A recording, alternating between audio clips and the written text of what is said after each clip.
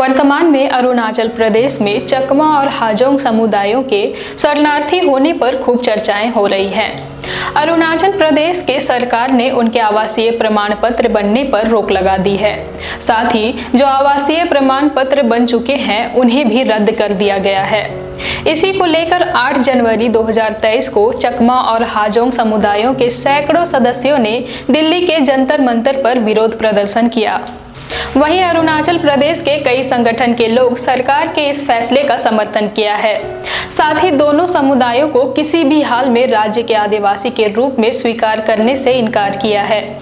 अब जानते हैं कि चकमा और हाजोंग समुदाय कौन है और उनका क्या संघर्ष रहा, जो अरुणाचल प्रदेश के लोग उन्हें विदेशी करार देते रहे हैं। चकमा, जिसे चंगमा, सकमा या संगमा भी कहा जाता है, बांग्लादेश की स्वदेशी आबादी का सबसे बड़ा हिस्सा है।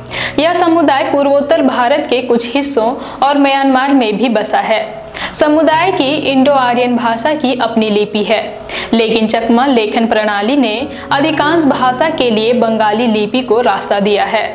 अधिकांश चकमा लोग थेरेवेदा बौद्ध धर्म के अनुयायी हैं।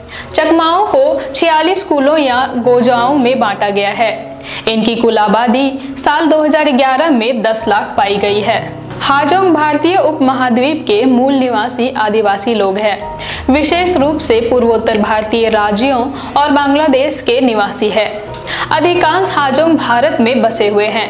ज़्यादातर मेघालय के गारो हिल्स और असम के आसपास के इलाकों में रहते हैं। हाजोंग समुदाय मुख्य रूप से चावल के किसान है।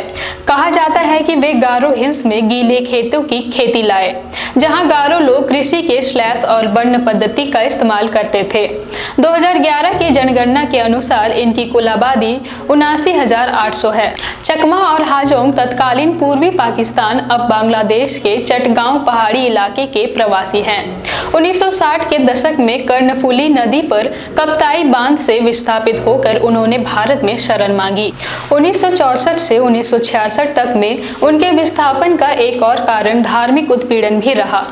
1964 से उन्नीस सौ उनहत्तर तक वे तत्कालीन नॉर्थ ईस्ट फ्रंटियर एजेंसी में स्थायी रूप से बस गए थे, जो अब अरुणाचल प्रदेश राज्य है। भारत सरकार द्वारा पुनर्वास की निश्चित योजना के तहत केंद्र सरकार ने उन्हें भूमि अधिकार और अन्य सुविधाएँ प्रदान की थी। अरुणाचल प्रदेश में आज अधिकांश चकमा और हाजोंग चांगलांग ज़िले में वास कर रहे हैं।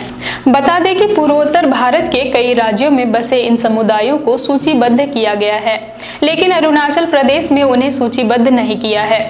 अरुणाचल प्रदेश में यह बोझ आ गई है कि ये लोग राज्य में रहने के साथ यहाँ की ज़मीन, नौकरी व अन्य सुविधाओं का लाभ उठाने लगे हैं और इनकी एक अलग सांस्कृतिक पहचान सामने आ रही है। यही वजह है कि यहाँ के लोग उन्हें विदेशी ही मानते रहे हैं। अरुणाचल प्रदेश के सरकार ने केंद्र से कई बार इन समुदायों को अन्य आसपास के राज्यों में विस्थापन करने की मांग करते रहे हैं, जिसे पूरा करना मुमकिन नहीं हो पा रहा है।